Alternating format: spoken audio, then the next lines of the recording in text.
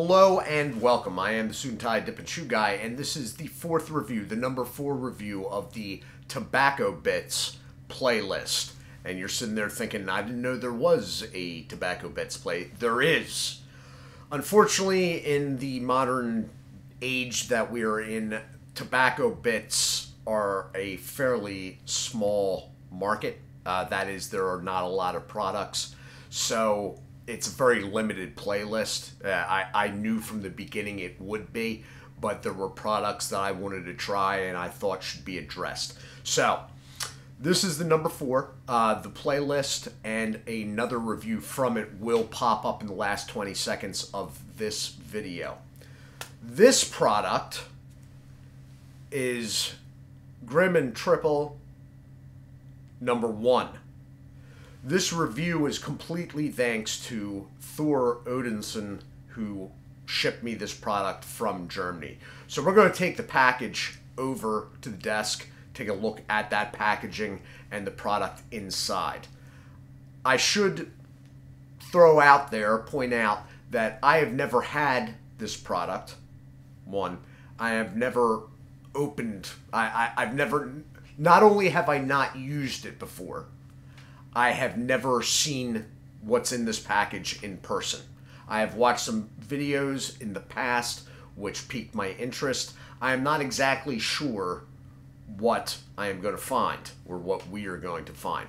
That said, as I said, as of the recording of this video right now, this should be on the Tobacco Bits playlist. Unless we get really surprised. Thor, I want to thank you for shipping this to me. Um, this will be one of a few. So, number one, obviously, uh, there is a two, a three, a five, and a six. They are all in house right now. When you look at this packaging, it's all going to be in German. It is a German product for the German market. All right? I do not speak German. Well, I am extremely limited in speaking German. So we're going to take a look at the packaging.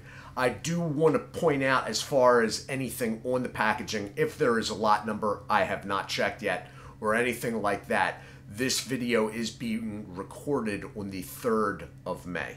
With that, let's head on over. Okay, so here we are. Uh, it is basically sort of like a small pipe tobacco pouch. And it is small, which is what's throwing me off a little bit because in older videos that I saw of this, it seemed like the bits were larger. And I don't see how they would fit them in this. But the packaging itself was of a different type. So we're going to open it up yeah, saw the front there. Uh, tradition since 1849. That's basically all I can get from that. And uh, the German, uh, this product is delicious. So we will see. They are putting it forth as tobacco sticks. There's a barcode and there is some sort of lot number there. Again, I do not know what it means, but I can tell you for sure that the 15 does not stand for 2015. I believe Thor got this directly from the online side of the company itself. So, 14 grams is the total weight of the product inside. And with that, we will get this open. There seems like a lot of packaging. It seems like it's wrapping over on itself like a couple times, which I'm sort of interested as to why that is. It's got a... It's not tape... Oh. Well, it's sort of acting like tape, though. So I hope you paused and read all that because that's the end of that. And yeah, it. You know what? Whoa, what? okay, it's set up like a pipe tobacco pouch, or even more so, sort of the dimensions of a hand rolling pouch, like hand rolling tobacco. Here is a very long German write up, I guess, of the product, which I don't understand anything really, of. I hope you pause that if you do speak German. We're moving on. And is the pouch sealed? Yes, it is. It has actually got a seal on there, sort of like a chew pouch, only they're not using glue dots. They're using heat line, it looks like, to melt the plastic closed. And what do we got in there? Do you want to come out? Do you want me to ask again? Whoa. Okay. So what you got here is it's a tobacco bit, but it is considerably larger than any other tobacco bit I have ever seen. It's it's quite large and there's more in there than I thought. Now, I thought originally that these were larger products, like it was even bigger than this. Mind you, these, for tobacco bits, these are huge. Um, I thought they were actually bigger than this. The older videos show a larger product in a tin. So I actually went when this pa- I saw this packaging. I actually went and checked their website to see if there were larger sized products I did not see anything, so I am not quite sure how that played out or when they scaled down. But all said, these things are wow, and they're tacky too. Wow. Okay. I am liking that. We're going to take it back up top because now I am very interested to see what this is about. Okay, and we are already past the seven minute mark. I do apologize. I just felt that for something out of the blue like this, a little background was needed. So I'm going to grab this bigger one that I was sort of blotting there. And I'm getting licorice, which would make sense in a tobacco bit. Licorice and something else, but I'm not quite sure what. So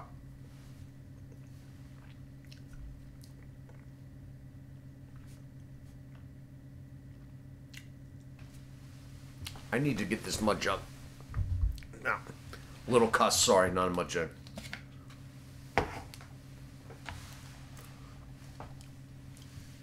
So to get the flavor going there, I bit down on this, and it was like immediate. I felt like I was biting into a grape. It like juiced. There's zing in the mouth. I believe you spit with this. I, I, from videos I've watched over the years, I believe. I believe you spit with this. Um, from what I am feeling in my mouth right now, the the sensation, I am definitely spitting with this. Wow, there's a lot of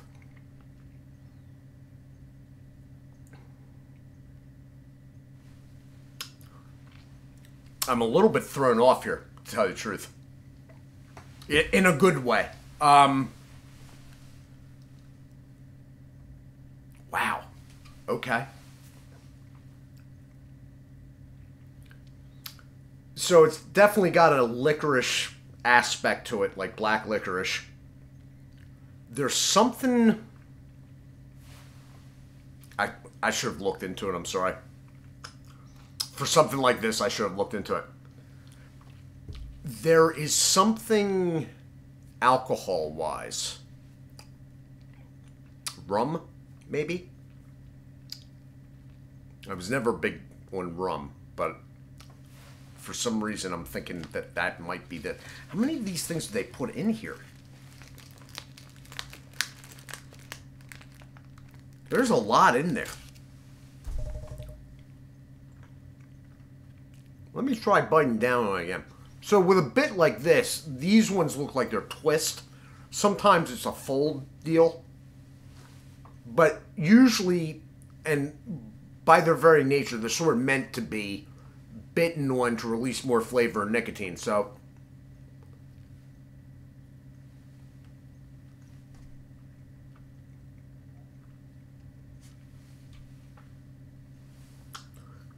there was actually a popping feel there.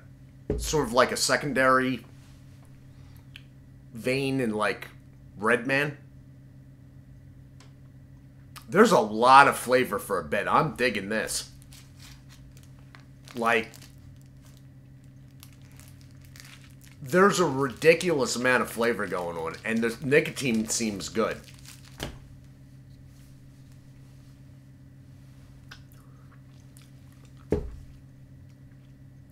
Wow. Okay, Germany. Um, I'm almost tempted. It, it almost feels like dip when you put it. I'm almost tempted to put it like more than one in.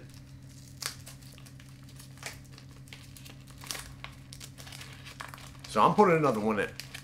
You got a big one in there?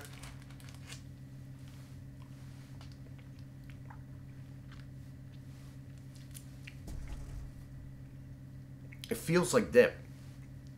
It's soft enough that it's sort of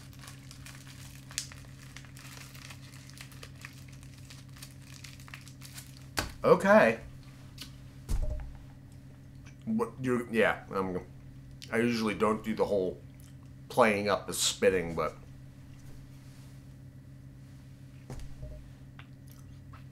spitting brown. It's, it, it's spitting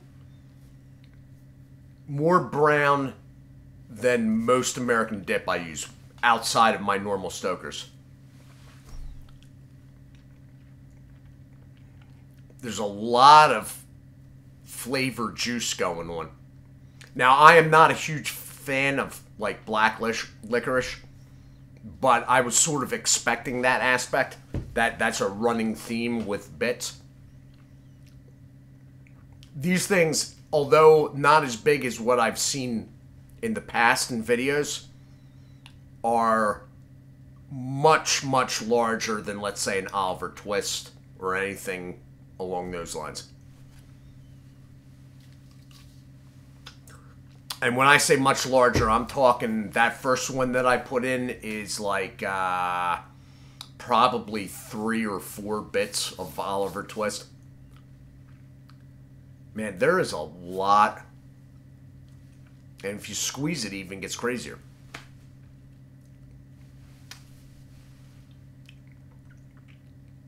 Heavy black licorice, though. So if you don't like that, that's something you got to keep in mind with this.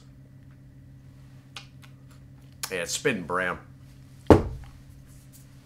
It's spitting browner than any, like, let's say, Skoal or Grizzly product I've ever done.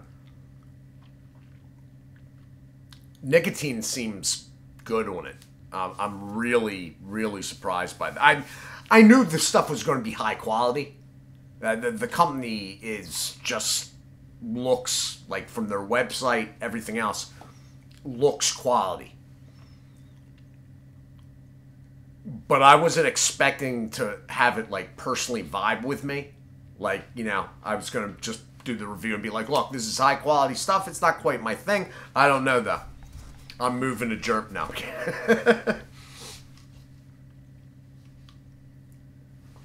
So I got two of them right here.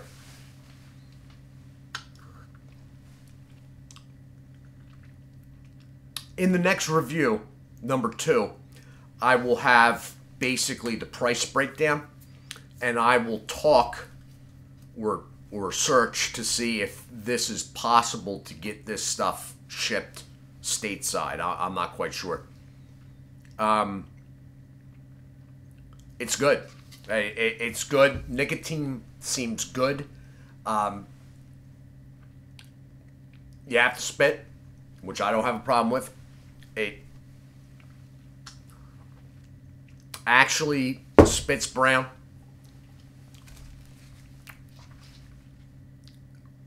Zingy in the mouth.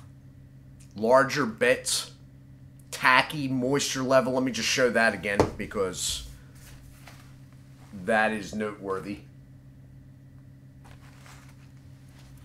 The the whole the whole thing has uh, I am pleasantly surprised in the extreme. So this has been my review of Grimm and Triepel number one. And two will be coming in short order. I am Suit and Tie Dip and Chew guy. I do thank you guys for watching. I realize this is a little bit of a longer video that I've been doing recently, but again, I felt need to give background there. Thor, thank you again. Excellent experience. Thank you. I am the Suit and Tie Dip and Chew guy. You all do take care of yourselves, and God bless.